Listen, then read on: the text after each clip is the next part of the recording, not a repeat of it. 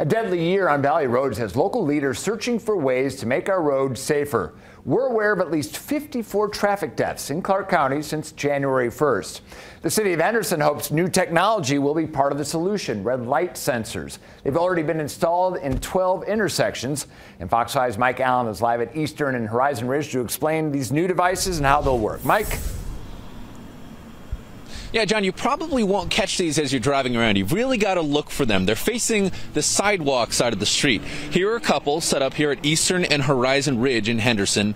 It's those two sensors up there. You just saw another one light up. They're set up at a dozen intersections in total around Henderson. And they won't take a picture of you, but they will help police catch you if you run a red light. Here's how.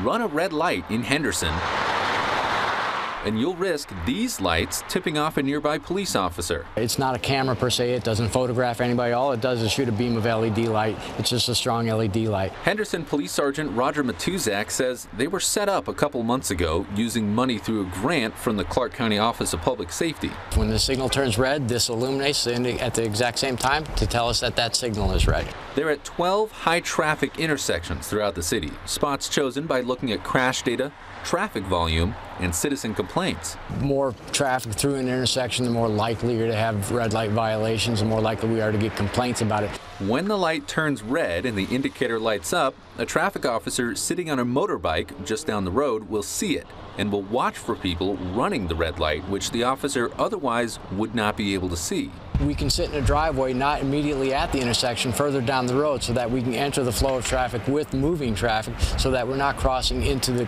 cross traffic at an intersection. It makes it safer for the officers conducting the enforcement. Sergeant Matuzak says the department is just now starting to collect data on these indicators and will be looking for the impact they have on traffic safety. I think anything we can do to make an improvement is going to be beneficial to everybody.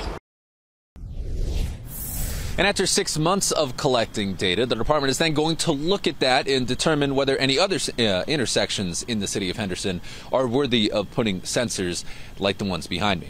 Reporting live tonight, Mike Allen, Fox 5 News, local Las Vegas. We have a full list of the 12 intersections with these indicators on our website, fox5vegas.com.